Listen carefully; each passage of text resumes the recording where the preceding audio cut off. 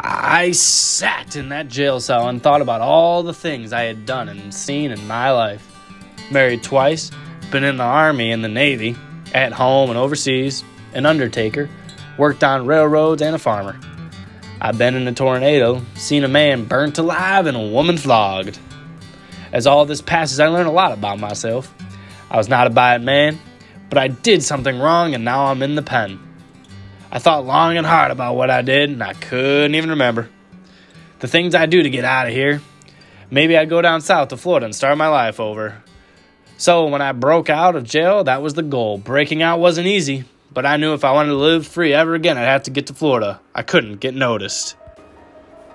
We started to make our way down south to Florida. We didn't have the greatest of cars, so maybe it was a stroke of good fortune to find a car on the shoulder of the road. The problem is that there was a family near the car. It was two parents, two kids, and an old woman. We thought we could take the car with no harm, but the old one realized who I was.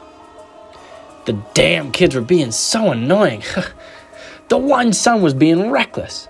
I told Hiram and Bobby Lee to take the boys out into the woods. They brought me back the big one's shirt. They asked me if I'd shoot a lady, and I said that I didn't want to. Then I had to take the mother and the little girl out there. Then I was all alone with the grandmother. Now, it was me and the old lady. She kept telling me I was a good man from good blood. I told her I wasn't good, but I'm not the worst. We was talking about Jesus and how he rose from the dead. I told her that he shouldn't have risen, though everything off balance. Then she said, You're my child. Something snapped at me. I pulled the trigger three times and killed her.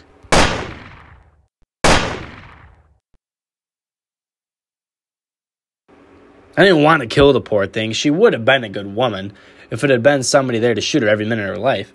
I felt some guilt for shooting her. There really isn't any pleasure in life anyway. But I knew I had to move on if I stayed. I would just get caught. So I took the car and we continued down south. I think about that old woman often. She was so sure prayer and Jesus would help me, but I don't want no help. I'm doing fine by myself. Maybe now I'll remember all the things I do.